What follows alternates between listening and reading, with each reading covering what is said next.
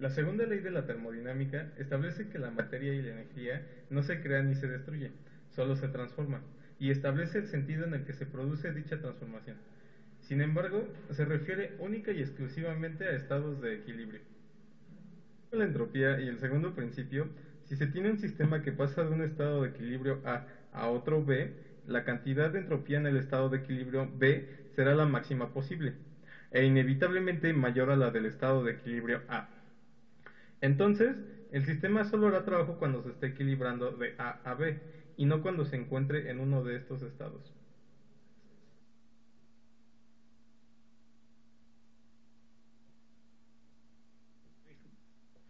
Pongamos un ejemplo. Pensamos que tenemos dos cuerpos a distintas temperaturas. El cuerpo más caliente transferirá el calor al frío. El traslado de esta energía es lo que genera entropía. La energía se junta en el medio, crea un desorden de energía que va aumentando y al final llega a un punto de equilibrio. Sin embargo, la entropía en el universo ya aumentó debido a este proceso. La segunda ley de la termodinámica es la más importante de la física ya que explica el concepto de irreversibilidad y de entropía. Son aquellos procesos que no son reversibles en el tiempo. Todos los procesos naturales son irreversibles, como el ciclo de la vida en un ser vivo. Un ejemplo más claro es cuando se revienta un globo y éste ya no puede regresar a su forma inicial, por más que se intente. En base a la primera y segunda ley de la termodinámica, sabemos que la energía se conserva. Esto quiere decir que cierta energía aplicada a un sistema es la misma que se dará al exterior. Y con la segunda ley sabemos que la energía aplicada siempre llegará a un estado de equilibrio y en consecuencia la entropía del universo aumenta. Primer registro de una máquina de movimiento continuo corresponde al astrónomo y matemático indio Brahmagupta del siglo VII. Se trata de una rueda desbalanceada que poseía rayos huecos llenos hasta la mitad de mercurio. Otros astrónomos de la India produjeron variaciones de esta rueda como lo hicieron Laya en el siglo VIII y Bhaskara en el siglo XII respectivamente. Ahora, como ya sabemos, desde hace siglos se ha buscado el método para diseñar una máquina que pueda tener movimiento por siempre. Hasta Leonardo da Vinci en sus dibujos nos mostraba ejemplos de ellas, pero hasta ahora no se ha producido una que cumpla con el objetivo. El aparato de movimiento continuo o móvil perpetuo es una máquina que realiza un trabajo continuo sin necesidad de energía exterior que la impulse. Una de estas máquinas lograría crear energía de la nada. Sería la fuerza de trabajo más barata que uno puede imaginar. Por eso es entendible que tantas personas de la historia hayan tratado de conseguirla. Toda máquina que funciona perpetuamente y produce un trabajo, sin ninguna entrada externa de energía, y sujeta a ninguna pérdida. Pasando el tiempo la máquina seguirá funcionando sin detenerse.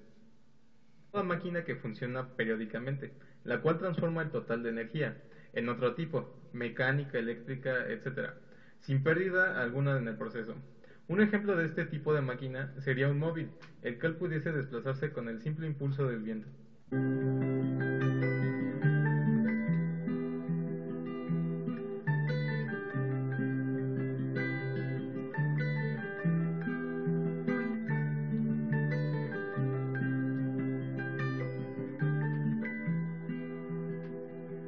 You only need the light low. Only miss the sun when it starts to snow.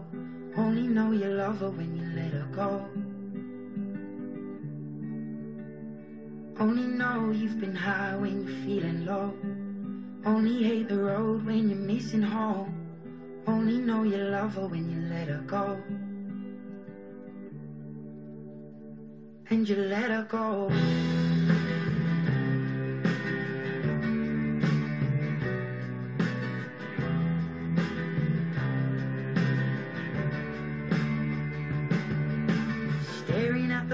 The bottom of your glass Hoping one day you'll make a dream last. But dreams come slow and they go so fast. You see it when you close your eyes Maybe one day you'll understand why Everything you touch surely dies. But you only need the light when it's burning low. Only miss the sun when it starts to snow.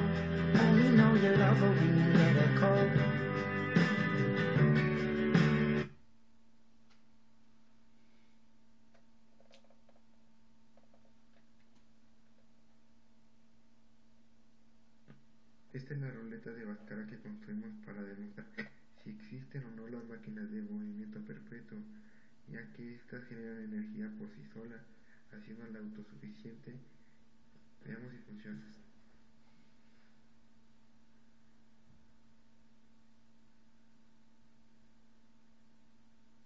Que podemos observar al principio, esta ruleta se empieza a mover, pero después encuentra el equilibrio, lo que provoca que ésta se mantenga quieta.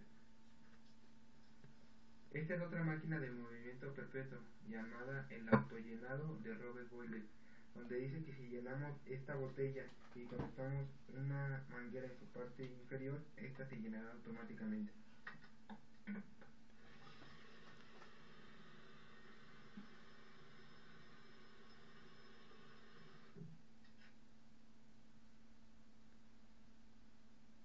Como podemos observar, esto no ocurre, ya que el agua tiene la misma altura que el de la botella, lo que nos lleva a preguntarnos si existen las máquinas de movimiento perpetuo.